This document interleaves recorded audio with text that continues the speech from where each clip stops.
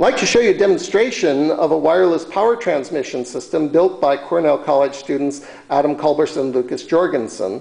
And this is a system you could actually build yourself.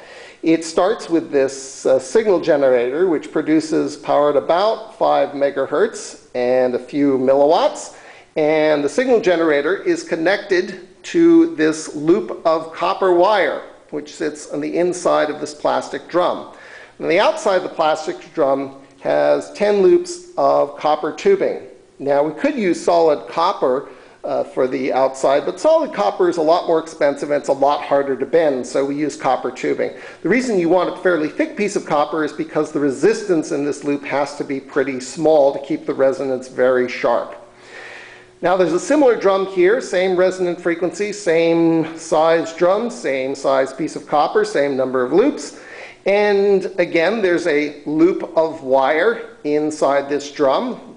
And when the current is induced to flow in the copper tubing, it creates a changing magnetic flux through this white wire.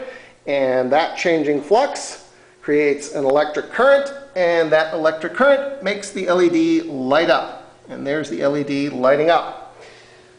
So if I turn off the signal generator, well, that means there's no power and the LED goes out turn the signal generator back on, it goes out. But I can also change the frequency. If I change the frequency to about 6 megahertz, the LED winks out. And if I change it to about 4 megahertz, again, it winks out.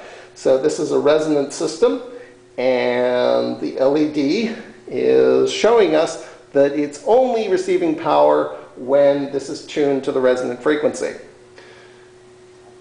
Now, there's actually nothing stopping you from scaling the system up. If you could get a signal generator capable of producing several watts of power, or tens of watts, or hundreds of watts, you could then transmit several tens, hundreds of watts of power through the system, and it would still work. You could light up not an LED, but a normal incandescent light bulb, or even power your laptop. And that would be very nice if you could do that. You could provide wireless power. Now, this is very similar to a system devised by Nikola Tesla.